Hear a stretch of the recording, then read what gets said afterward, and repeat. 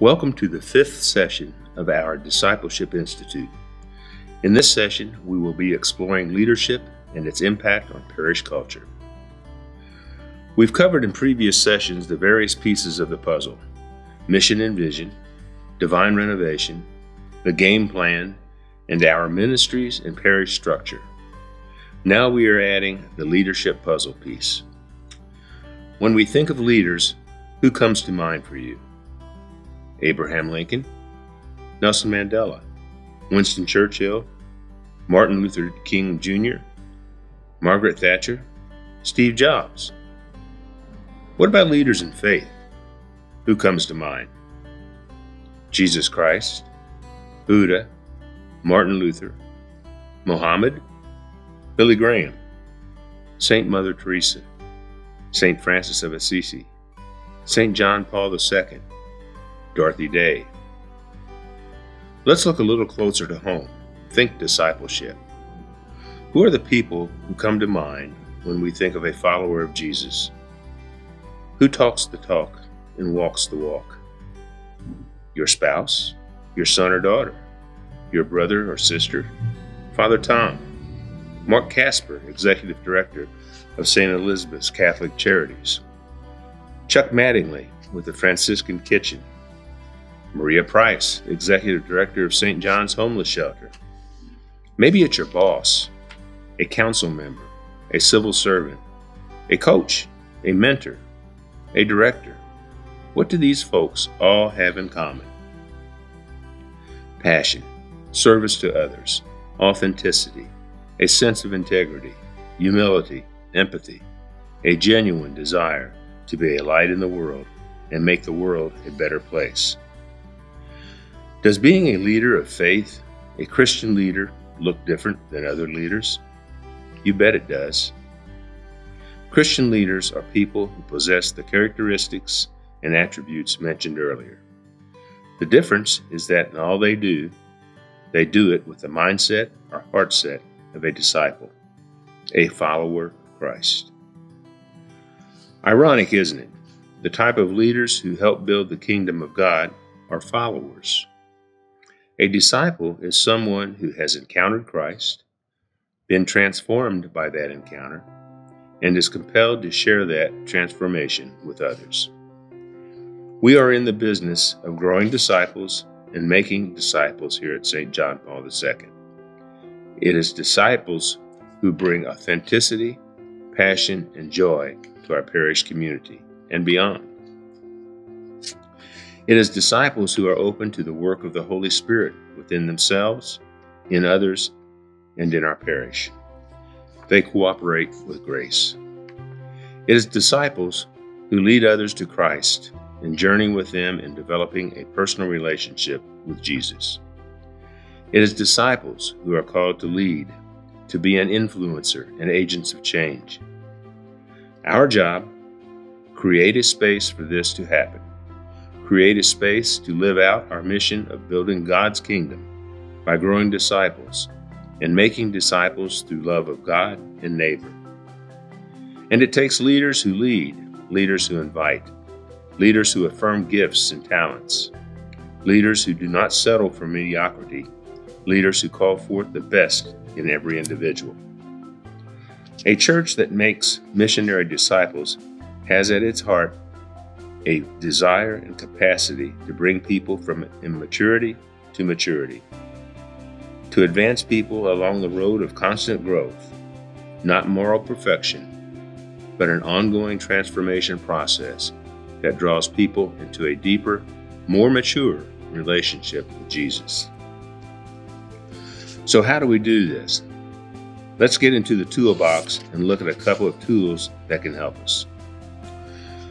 First up, how do we view leadership? The Catholic Church has at its roots a hierarchical model of leadership. Everything runs and operates from the top down. At the top sits the pastor. Below him is the pastoral team who report to him. Below that is the parish pastoral council and divine renovation team who work towards governing and leading the parish in collaboration with the pastoral staff and pastor. Then below that are commission heads and team liaisons who report to the council. Commission members to commission heads, committee members to commission members, and all parishioners to committee members. This is the traditional way of parish structure. It fosters a sense of reporting to the next level of command, so to speak. With reporting to the pastor at the top of the pyramid, this traditional model can stifle lay leadership and negate the power and fruits of subsidiarity.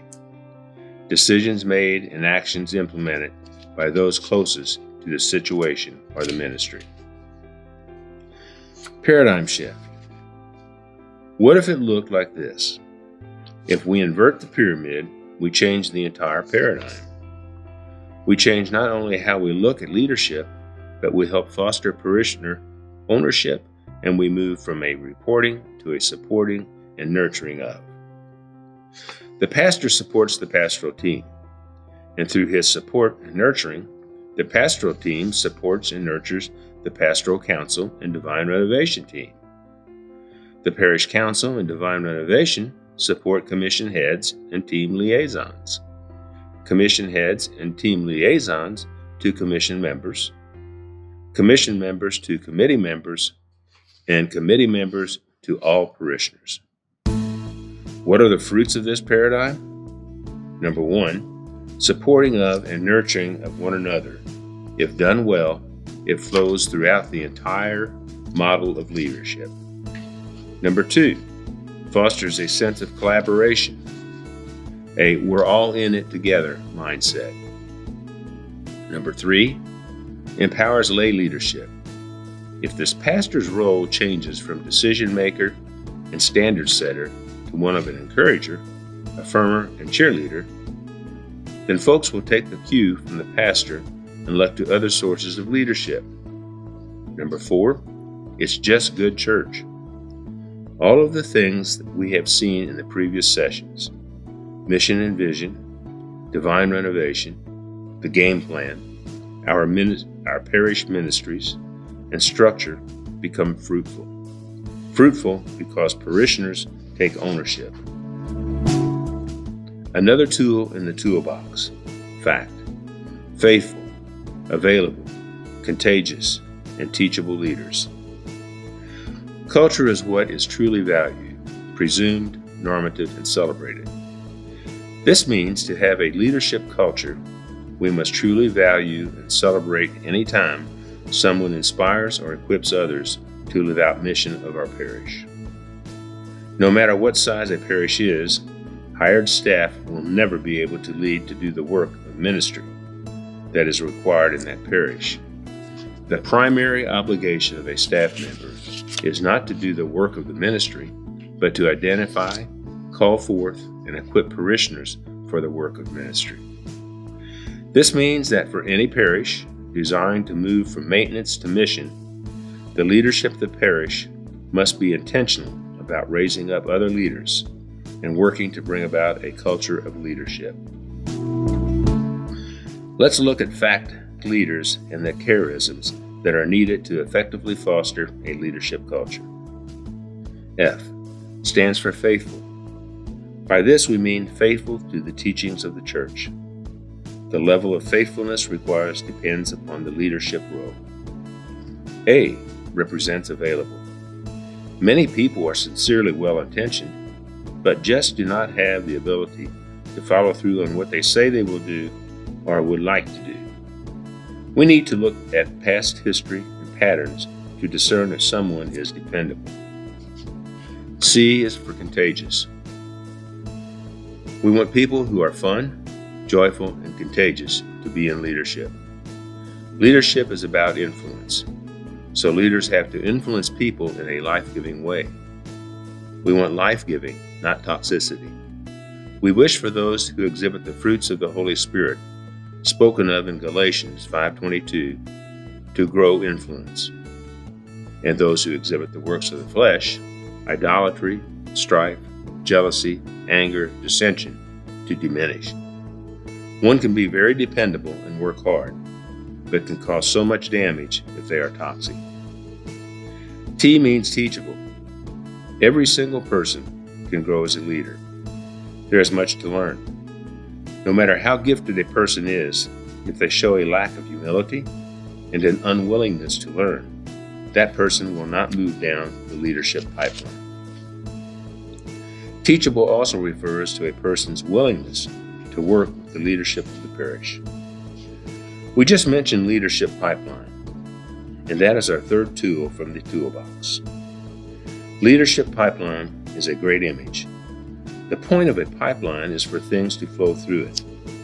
Sometimes, however, pipes can become blocked and nothing moves along. Often in the life of churches, certain people get into positions of leadership and block the development of others. Leadership in parishes is not a lifelong appointment. What does St. John Paul II's leadership pipeline look like? Leading does not have to be an all or nothing affair. We need to give people increasing responsibility as they grow in their capacity to being faithful, available, contagious, and teachable. We are using a five tiered approach to leadership. The tiers are task, coordinator, director, ministry leader, and pastoral team. This is the template for each ministry in our parish to develop its own pipeline. Task involves low responsibility, has low influence, and allows for a higher turnover. Coordinator more responsibility, higher degree of influence in order to coordinate the various tasks of the specific area of ministry, allows for minimal turnover of position. Director, high level of responsibility, high level of influence, keeps the full scope of the ministry forefront, knowledgeable on all facets of ministry, low level of turnover. Ministry leader, keeper of the vision or goal of the ministry, creates an apprenticing culture, not to meet a need, but to raise up new leaders and expand the ministry. Critical piece of the pipeline process a succession plan. Pastoral team. Primary role is to support the various team members of the ministry, provide resources, training, guidance, assist in troubleshooting, and being a sounding board to foster creativity and new approaches to ministry and its tasks. Here's an example of a leadership pipeline in one of our parish ministries. Ta da! The turkey shoot. We are going to look at one branch of the turkey shoot leadership. Task Serve a shift in the cake booth. Notice the five tiered cake. Coordinator runs the cake booth, recruits shift volunteers. Director for outdoor venues oversees setup and running of various games and outdoor venues. Ministry leader, turkey shoot chairperson, oversees all setup, implementation, and teardown. Keeper of the vision and adopting an apprenticing model of leadership. Sets up training in collaboration with directors and coordinators. Pastoral team, director of operations, provides support for ministry leaders, navigates and troubleshoots with ministry leader for successful turkey shoots. That's one example using the five tiered model with this terminology. The pipeline is about identifying the roles in a ministry and the appropriate level of responsibility, as well as identifying what is required of a person for a good fit. What can be taught? What qualities must they have? Getting the right people in the right places to volunteer, utilize their gifts and strengths. A leadership pipeline for Alpha would look like Alpha Helper, Alpha Co host, Alpha Host or Speaker, Alpha Team or Leader, and Connect Group Leader. So, those are our three main tools in the toolbox. Number one, leadership model, inverting the pyramid. Number two, fact leaders, faithful, available, contagious, teachable. Number three, leadership pipeline, developing a five tier approach for ministries. Another very important tool in the toolbox is you. St. John Paul II truly can't move from maintenance to mission without leaders like you, disciples like you, disciples who want to call upon the gifts and talents of every parishioner and find a spot or a way for them to serve and have ownership in fulfilling our mission. Last note a leader with no one following is just a person going on a walk. Be a part of the culture change. Be a leader. Be an influencer. Be a disciple. Be you.